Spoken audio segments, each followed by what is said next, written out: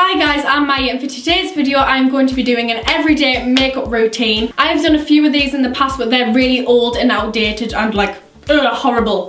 so I'm here today with an updated version. This is a makeup look that I wear pretty much every day. It's what I wear to sixth form mainly because it's really quick and simple to do on a morning but still looks absolutely gorgeous and flawless and I'm just in love with this. So let's get into the video. I'll zoom you in now so you can see how I got this face. Also about the green hair, the elephant in the room. It was pretty when I first dyed it. It was like turquoisey blue, oh very mermaidy. But now it's faded into this so for the primer that I use every single day at sixth form is the Benefit Porefessional. I just absolutely love this. It's great for oily skin and it just helps my makeup stay on all day, which is exactly what I want for sixth form. And I'm just going to massage this into my skin, especially my oily T-zone. My skin's been breaking out like hell recently, as you can tell. It's been really mega spotty and I think it's because of the weather. It does this a lot.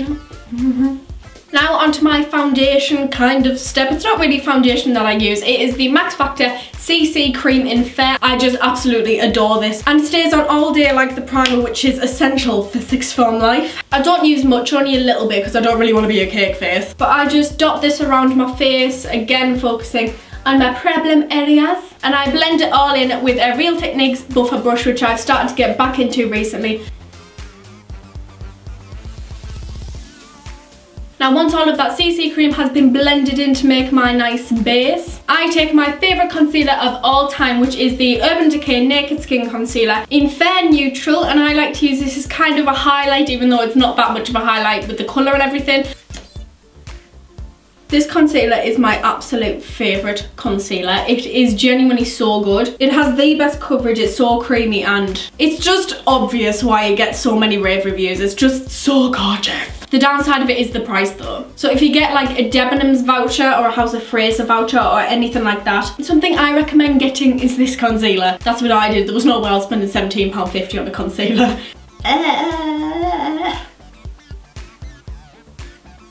ah, look, like a ghost. That's a Halloween makeup idea. Go as OMG it's Maya because it's practically a ghost. It's really nice coverage, but it's still natural, like you can see my skin through it. I don't look like a piece of cake. Then I like to set everything, and for that I use my Airspun powder. This is actually my holy grail makeup product. But this is basically a drugstore Laura Mercier setting powder, and you can only get it in America. I am so sorry. But mine is in the shade Translucent Extra Coverage, and I just like to use this for like baking and setting. But because I'm always in a rush on a morning, because I like to lie in and I end up sleeping way too much, I just do a quick dust under the eyes and everywhere to set it all and make it last all day. Be careful though, it's very messy. It's everywhere. That's a problem with loose powder, it gets absolutely bloody everywhere. And then I just like to take a bigger fluffy brush and just go all over the face. Now that's done diddly dusted, I like to go on to bronzing my face. This is my favourite bronzer of all time, so obviously I'm going to use it. It is the NYC Smooth Skin Bronzer in the shade Sunny. It's so cheap, I think it was like £2.50 from Superdrug or something, but it is just the perfect.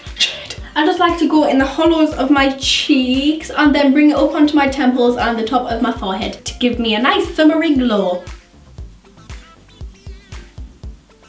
because this is just a great angle to bronzy face. My next step is blush. With this, you can just do it really quickly. You can go boom, boom, boom, boom, done. I am obsessed with this at the moment. It is the e.l.f. blush in Peachy Keen. This was also in my recent car boot sale haul video. And then just go on the apples of my cheeks really quickly and then it gives such a beautiful colour. I just think this is the absolute perfect colour for pale skin. It's so gorgeous. Then I like to move on to my eyebrows and for this you will know I love it. It is the NYX Eyebrow Cake Powder. Also bear with me on the eyebrow situation. I'm trying to grow them out a little bit more so they don't look like an algebra question. As a lot of people have pointed out, thanks for that. but I just like to fill in the natural shape with the darkest powder and just to brush it out with a little spoolie with this little brush.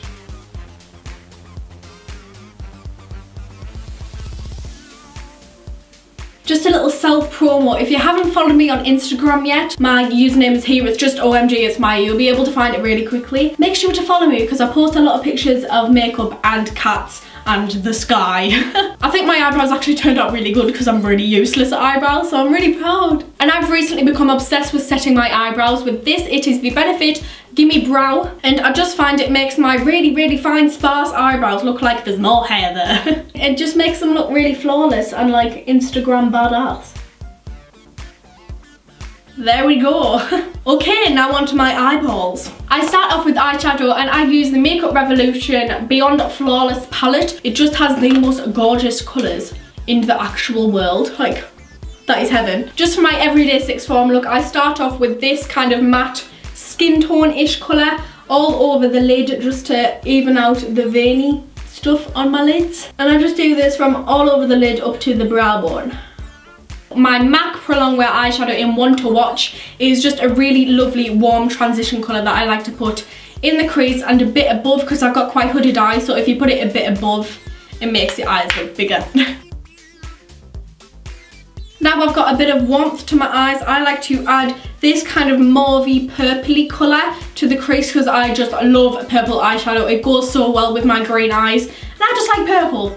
So I just gradually add this in the kind of outer V and into the crease to give a really nice kind of purple, subtle, smoky look. So it's like really wearable and it's really quick to do in the morning as well. I also like to add a bit of the MAC one to watch under the lash line just to bring the whole smoky look together. I hate doing this step but it just really ties it together so I make a sacrifice for beauty.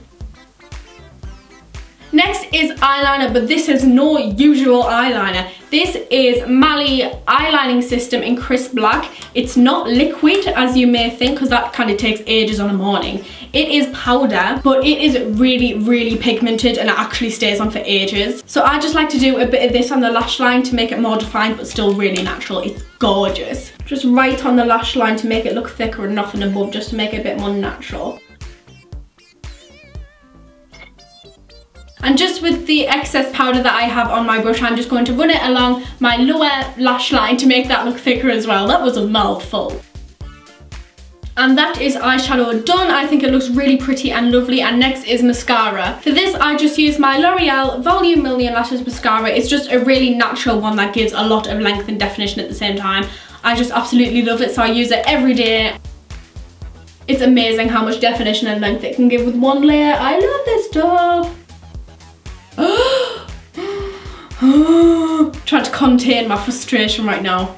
But now I guess we are on our final step, which is the mouth. Miss Smackers. And the thing that I've been using every day for six form is one of my new favourites. It is the Revlon Ultra HD Matte Lip Colour in the shade Seduction. It's just such a gorgeous nude colour and as it said, it is a matte liquid lipstick so it stays on like an indestructible robot on your face during school. Hate the smell of this though, it's so sickly, but it's worth it, it's worth it. I just think this lip colour works so well for pale skin and it just looks so flawless. So this is my finished everyday makeup look. I just think it is so simple to do and really quick to do but still so flawless and looks so lovely. So yeah, I'm just going to zoom you out a bit now. I really, really hope you enjoyed this video. Make sure to follow my Instagram and my Snapchat and make sure to like this video and subscribe to me if you haven't already and I will see you next time. Goodbye! OMG, it's Maya. She has sorted out a certain attire with makeup moments, lifestyle too. You'll never get bored. OMG, it's Maya.